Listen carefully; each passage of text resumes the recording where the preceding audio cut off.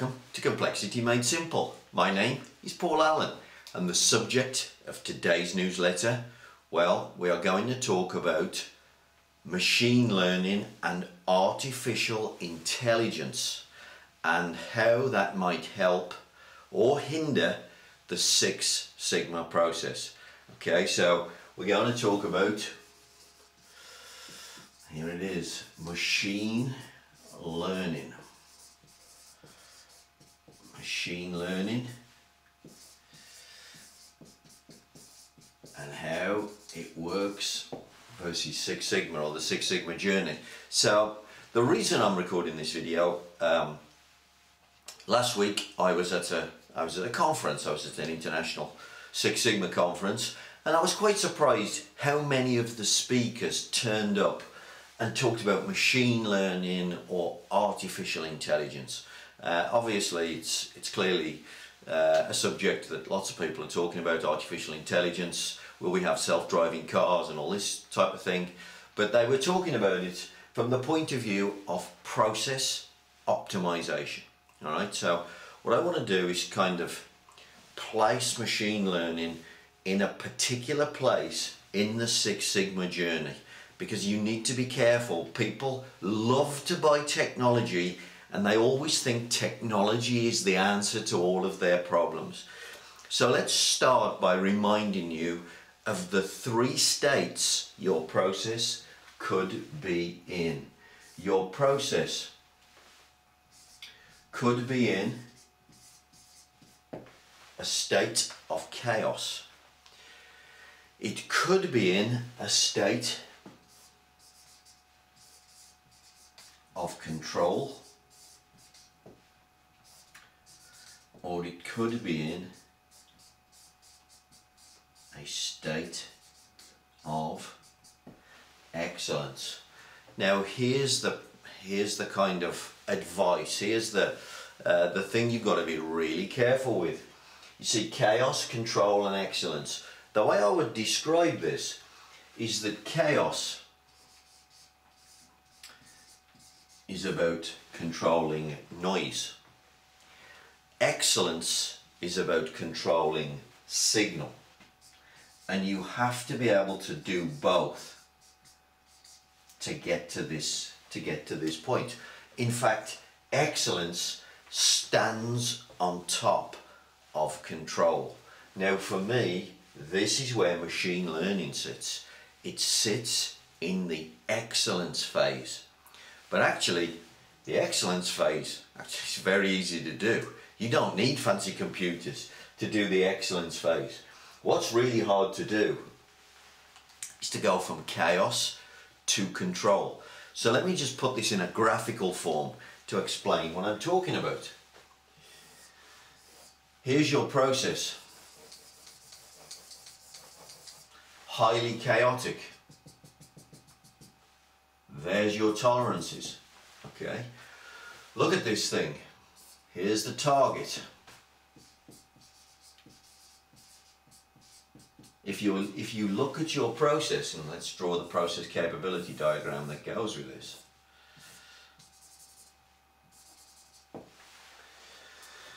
You see, you don't have a problem with the signal. You don't have a problem putting the average on the target. What you have a problem with is noise. You have a problem with noise. You have a problem with, with control. So just to kind of reference a case study that was presented uh, last week at the, at the conference. They presented this case study, which for me was all about excellence, which was about putting chocolates in the plastic tray that then goes in the, in the chocolate box. And they were teaching the robot, there was a robot loading these chocolates in. They were teaching the robot how to avoid mistakes. So chocolates that were put upside down, chocolates that maybe were broke or damaged but still placed in the tray, etc. So they were teaching the robot how to, and they were using machine learning to do this, how to, to get the robot to get it right, essentially. Okay? Now, presented a case study and it was all fine and dandy and it worked brilliantly. But here's the point. That's a process that's in control, brand new piece of machinery working fantastically well. But that isn't where the noise comes from. The noise, the noise doesn't come from the settings. The noise doesn't come from the optimized settings that the computer has worked on. The noise comes from policies and procedures that the company happens to have in order to look after that machinery. So for instance, maintenance routines. If they choose not to maintain certain things on the robot, maybe the, the bearings in the, the articulated arms begin to wear. Maybe they're not lubricating them. Maybe they're not looking after them. Maybe they're not checking them or replacing them. Well, as the, the variability starts to build up in those bearings, what's the robot going to do? Because what the robot's trying to deal with is this. It's trying to deal with noise. It's not trying to deal with the signal. So the signal, of course, looks like this. And this is where, you know, this is where excellence is. So, you know, you're trying to hit the target then. By the way, you're trying to hit the target with the cheapest or the most practical settings. We'll come back to that in a minute because maybe the robot can't do that either. So the robot's trying to put a controlled process on a target. Well now, the, the, the, target keeps moving because now what you've got is lots of variability coming from the condition of the machine.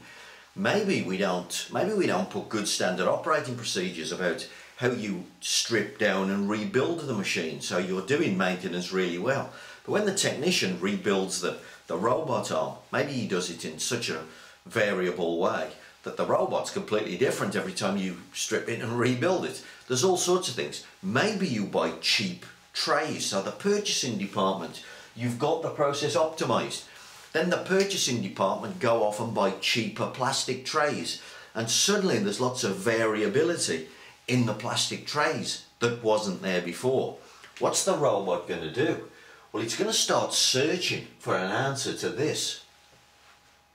But there isn't an answer to this. If you've bought more variable plastic trays, there isn't a robot in the world will get you out of that mess. The answer is to go back to the controlled, repeatable, size on size repeatable trays. Otherwise you've got a problem. Now if the robot starts to try and hunt in this environment, what will it do? Well, it'll start moving this thing backwards and forwards, which is exactly what an operator would do, by the way even without a machine.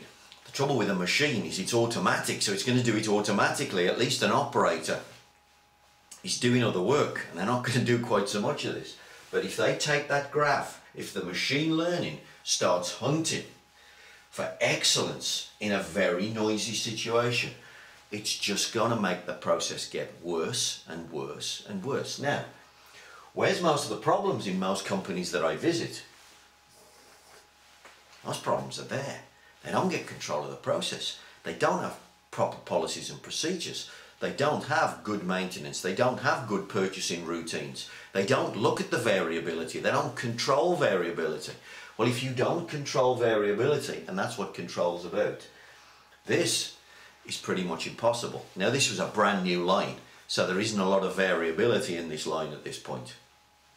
But it's going to come. And then AI is going to be part of the problem. It's not going to be part of the solution if you're not careful.